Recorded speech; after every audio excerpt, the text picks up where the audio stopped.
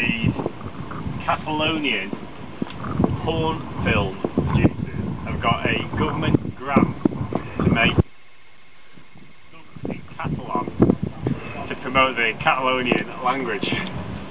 Brilliant. Did you hear that?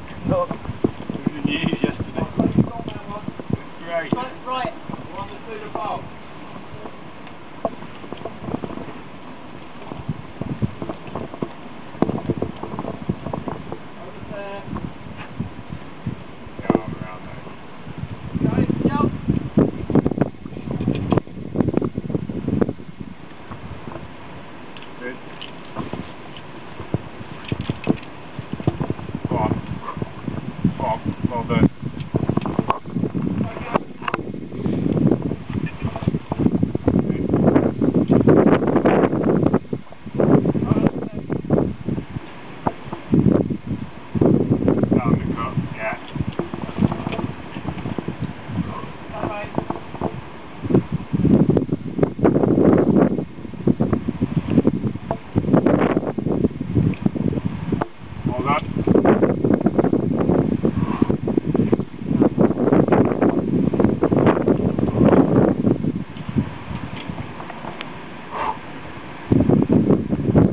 Sorry, Cat. Go on. Go on. Go on. Stay with it. Right. Go on, go on. No, go on. Yeah. Go on. Your shoulder on it. Come on.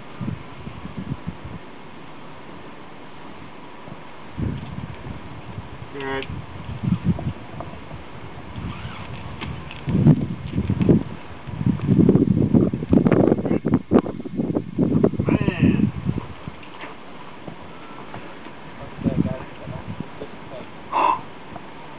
Right into the crap with your right. Go on, Ricard.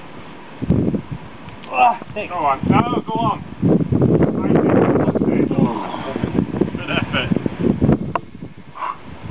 Good effort, Ah. mate.